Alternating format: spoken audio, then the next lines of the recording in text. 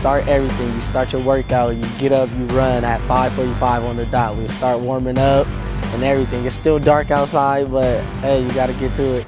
Mentally and physically, we got a lot stronger. We uh, kind of at the beginning didn't know what to expect and uh, kind of got hit in the gut a little bit to start off. And we kind of grew and uh, got used to what to expect on a daily basis and realized that it's going to be a little bit more mentally and just physically demanding. You will never play a game that early. So you got to have the mindset. It's a mindset that you got to have like I'm going to wake up this early and I'm going to go to work. I'm not going to be sluggish. I'm not going to be lazy. I'm going to attack it.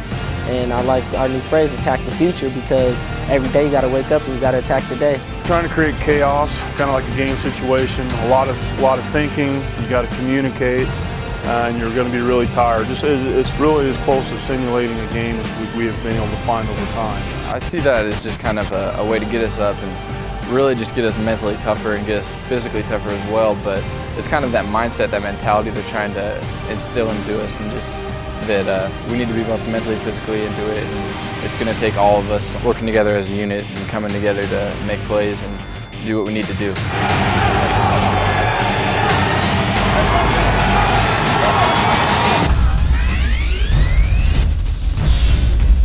Well, what we do in the winter training is we're trying to build a real good strength base and a power base for those guys. Strength first and then power.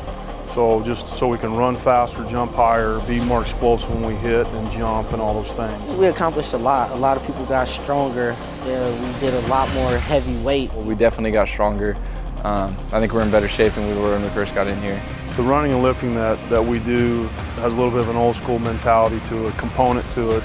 Um, we, lift heavier weight and we're just trying to build a base with, the, with our guys so in future workouts that we can really start pushing the weight and that kind of thing safely, all those all those kinds of kinds of things.